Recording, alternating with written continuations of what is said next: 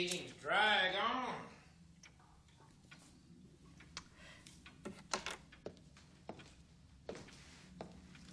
George, you're drinking and smoking. The doctor says you couldn't do neither.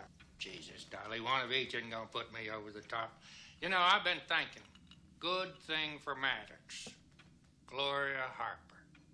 Huh? He ought to get real smart and marry her. George? She's young, fresh face, looked like an ad writer's dream of the all American girl. Why don't you pour me a drink? And she's a woman that you can trust, too. You know what I mean? Huh? That's real important to a man. George, I'm so tired. Why don't you pour us both a drink? Come on in my room tonight. Rub a little bit of that night cream on my shoulders. You can do that. Can't you, George? Hmm? I'm so tired.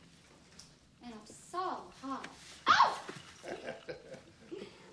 you know, I've been thinking.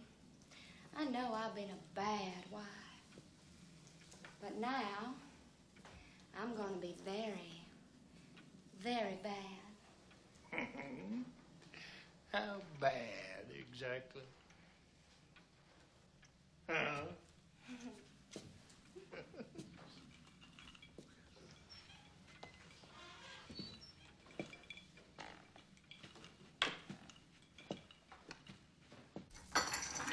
Mama's real angry with you. Hmm. She's more angry than she's ever been. Now we've just got one more, and then we can get down to business. Guess what? All these things I'm doing to you, I done to your boy, Harry Madox, down at the sawmill. Over and over again. What's the matter, George? Don't you like the game, George? Don't you feel well, George?